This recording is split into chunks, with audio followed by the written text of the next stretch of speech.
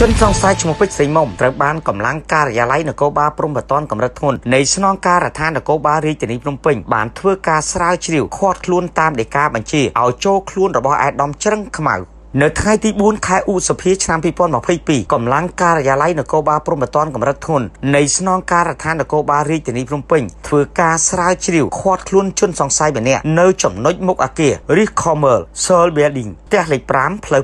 282សង្កាត់បឹងកេងកងទី1ខណ្ឌបឹងកេងកងរាជធានីភ្នំពេញដោយអនុវត្តតាមដីកាបញ្ជាឲ្យចូលខ្លួនរបស់ឯកឧត្តមច្រឹងខ្មៅប្រះរាជអាជ្ញានៃឯកការអមសាលាដំបងរាជធានីភ្នំពេញពាក់ព័ន្ធករណីមិនបំពេញកាតព្វកិច្ចចំពោះឧបករណ៍អាចជួញដូរបានដែលមានទឹកប្រាក់ចំនួន7,76000ដុល្លារតាមពាក្យបណ្ដឹងរបស់ឈ្មោះលឹមហួនីតូភេទប្រុសអាយុ34ឆ្នាំមុខរបរពាណិជ្ជករជនសង្ស័យឈ្មោះពេជ្រស្រីមុំភេទស្រីអាយុ35ឆ្នាំជនជាតិខ្មែរមុខរបរពាណិជ្ជករស្នាក់នៅផ្ទះលេខ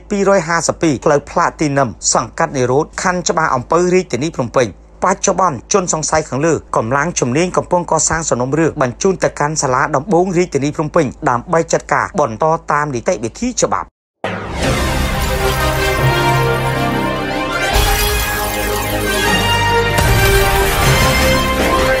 AK News នាំមកនៅព័ត៌មានពិនគ្មានដែនកំណត់